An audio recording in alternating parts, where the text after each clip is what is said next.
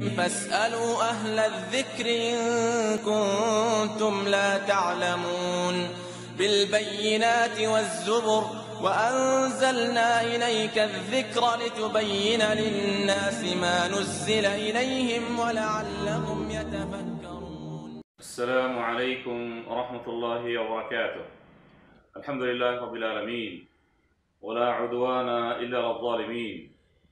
أما بعد فأعوذ بالله من الشيطان الرجيم الذين يجتنبون كبائر الإثم والفواحش إلا اللمم إن ربك واسع المغفرة সুপ্রিয় দর্শক শ্রোতা প্রথমে আমরা আল্লাহ সুবহান তাআলার কৃতজ্ঞতা প্রকাশ করছি যিনি আমাদেরকে এই পৃথিবীতে পাঠিয়ে সুন্দর জ্ঞান দান করেছেন যে জ্ঞানের মাধ্যমে আমরা বিচার করতে পারি।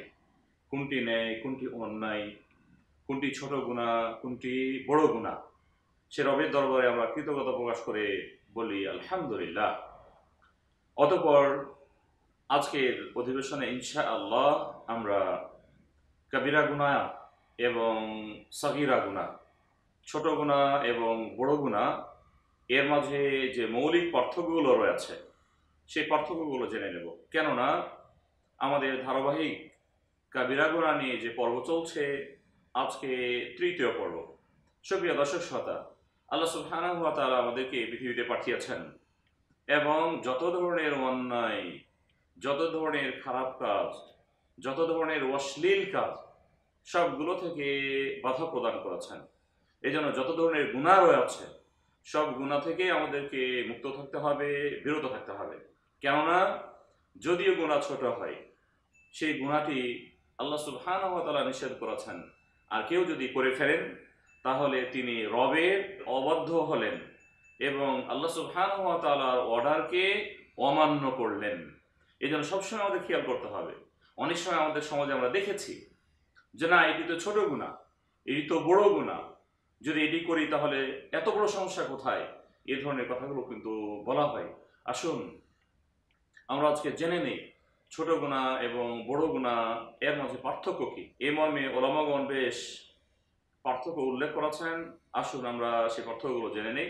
প্রথমে আমরা বলব যে বড় গুণা কাকে বলা হয়? বলা হয়েছে, বড় গুণা বলা হয় আল কাবিরত মা ইয়ালহাকুল ওয়াঈদ বিসাহিবিহি বিনাসসিল কিতাবি ওয়াস সুন্নাহ।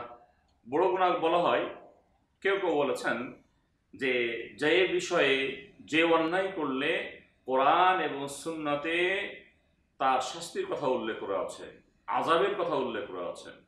আবার কেউ কেউ বলেছেন, বিকুল্লি দাম্বিন করিনা বিহি ওয়াঈদুন আও লানুন।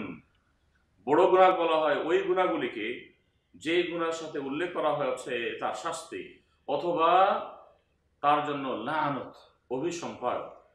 কেননা কখনো কখনো আল্লাহ সুবহানাহু ওয়া কোনো কর্মের ফলে সে কর্মকারীকে লানত দিয়েছেন।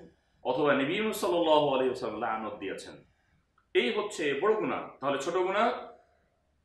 যেই গুণাগুলিতে স্পষ্ট করে কোনো আজাবের কথা উল্লেখ হয়নি, অথবা লানতের কথা উল্লেখ হয়নি, অথবা নির্দিষ্ট কোনো তার শাস্তির কথা উল্লেখ হয়নি, এজন্য ওলামাগণ এই গুণা নিয়ে বড় গুণা কোনটি, কোনগুলিকে বলা হয়, ছোট গুণা কোনটি, কোনগুলিকে বলা হয়, এ নিয়ে কিন্তু যথেষ্ট কথা বলেছেন। আমরা বেশ কিছু বিজ্ঞ ব্যক্তিদের কথা আমরা জেনে নেব। এর মাধ্যমে স্পষ্ট হতে পারব বড় গুণা কোনগুলি হাসান আল বসরি রহমতুল্লাহ আলাই তিনি বলেছেন, কুল্লু জাম্বিন নাসাবাহুল্লাহ তাআলা ইলা নার ফাহুয়া কাবীরা। হাসান বসরি রহমতুল্লাহ, তিনি বলেছেন যে, প্রত্যেক ওই গুণাকে বড় গুণা বলা হয়। যে গুণাগুলির ফলে বান্দাকে জাহান্নামের যে সাজা রয়েছে, শাস্তি রয়েছে, সেই শাস্তি উল্লেখ হয়ে হয়েছে অনুরূপভাবে ইমাম আল মুফাসসির আল রহমতুল্লাহ আলাই তিনি বলেছেন, কুল্লু জামবিন উতলিকা আলাইহি বিনাসসি কিতাবিন আও সুন্নাহ আও ইজমা তিনি উল্লেখ করেছেন যে প্রত্যেক ওই গুণাকে কবিরা গুণা বলা হয়, যে গুণাকে কোরআন এবং সুন্নাতে অথবা ইজমার ভিত্তিতে কবিরা বলা হয়েছে। আন্নাহু কেবিরা, যে এই গুণাটি হলো বড়। আও আজিম অথবা এই গুণাটি হলো মহা অন্যায়। এভাবে উল্লেখ করা হয়েছে। আও উখবিরা ফিহি বিশিদ্দাতিল ইকাব।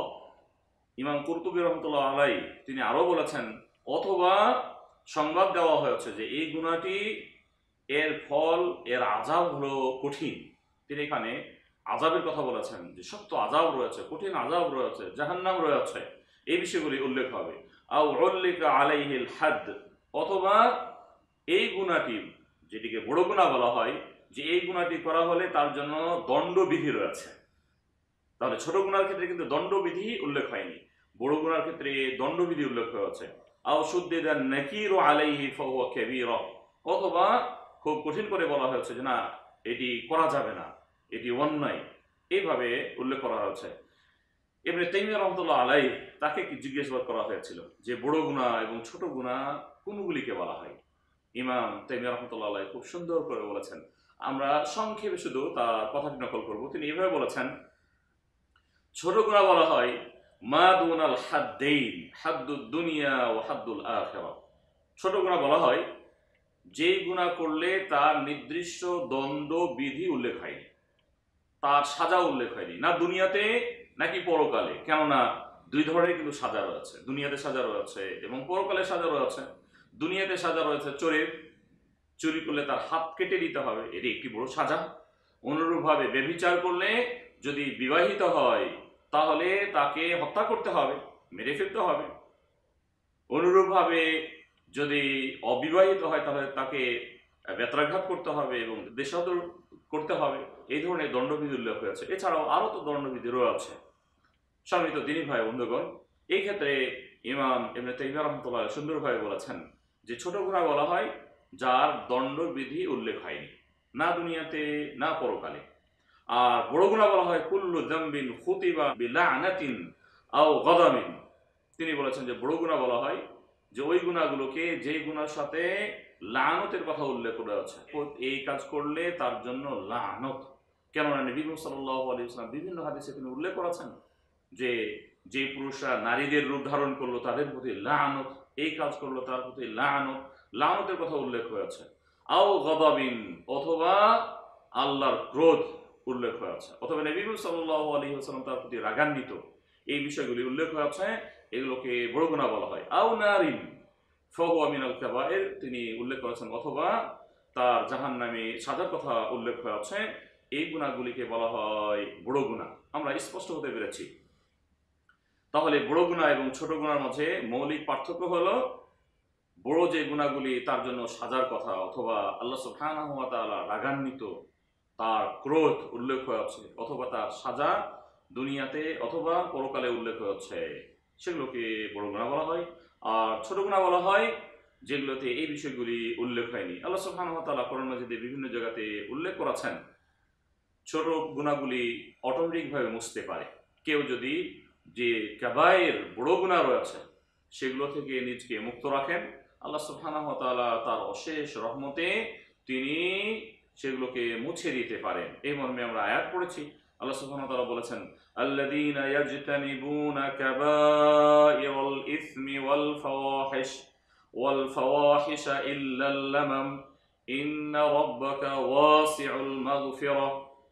বলেছেন, যারা বড় গুনাহ থেকে বিরত থাকে।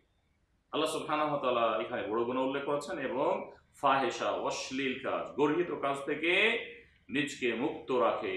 আর যদি ছোটগুলো কখনো হয়ে যায়, তাহলে আল্লাহ সুবহানাহু ক্ষমা বিস্তৃত, যেটি সূরা নাজমের 32 নম্বর আয়াত এখানে স্পষ্ট, কেউ যদি বড় গুনাহ থেকে বিরত থাকে, আল্লাহ সুবহানাহু ছোট গুনাহ মুছে দেন এবং এগুলোকে পরিষ্কার পরিচ্ছন্ন করে দেন। এই মনে আরেকটা আয়াত আমরা পড়তে পারি, যেটি সূরা নিসার 31 নম্বর আয়াত, আল্লাহ সুবহানাহু বলেছেন ইন তাজতানিবু কাবাইর মা তুনহাউনা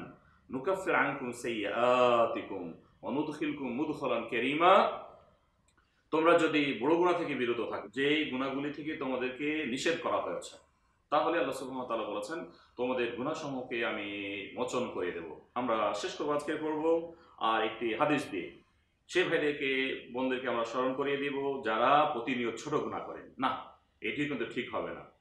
কেননা আমরা পূর্বে উল্লেখ করেছি, ছোট গুণা আমি করছি বিষয়টি কিন্তু এমনটি নয়, বড় গুণা করছি বিষয়টি এমনটি নয়, বরং আমি কার অবাধ্য হচ্ছি, আমি কার অন্যায় করছি, এই বিষয়টি মেনরা সবসময় খেয়াল করবে। কেননা সাহাবাগন কিন্তু এই বিষয়গুলোকে খুব ভয় করতেন। আমার গুনাহ হয়ে যাবে, আমি পাপ করে ফেলব, এই বিষয়গুলি তারা খুব খেয়াল করতেন। এই মর্মে একটি হাদিস আমরা বলব, যে হাদিসটি মুসনাদে আহমদ এসেছে। নবী মুসাল্লাহ আলী আসসালাম থেকে হাদিস বর্ণনা করেছেন আব্দুল্লাহ মাসউদ রাদিয়াল্লাহু তাআলা আনহু। নবী মুসাল্লাহ আলী সাল্লাম বলেন, ইয়াকুম ওয়া মুহাক্কারাতিদ দুনুব। তোমরা সতর্ক হও। যেই পাপগুলিকে তোমরা তুচ্ছ মনে করো, সেগুলো থেকে। আল্লাহ আকবার। যেগুলোকে ছোট মনে করো, সেগুলো থেকে। কেন? ফাইন্নাহুন্না ইয়াজতামিআনা আলার রাজুলি হাত্তা ইউহলিকনাহু। কেননা সেগুলো ব্যক্তির জন্য একত্রিত করা হবে। যার ফলে সে ধ্বংস হয়ে যাবে সুপ্রিয় দিদি ভাই বন্ধুগণ এই হাদিস থেকে আমরা স্পষ্ট হতে পেরেছি যে ছোট গুণা করলে কখনো সেগুলোকে জমা করে বড় করা হয় আর এর মাধ্যমে ব্যক্তি ধ্বংস হতে পারে আসুন আমরা সকল ধরনের পাপ পরিহার করি আল্লাহ তালা আমাদের তৌফিক দান করুন وصلى الله تعالى على نبينا محمد وعلى آله وصحبه وسلم السلام عليكم ورحمة الله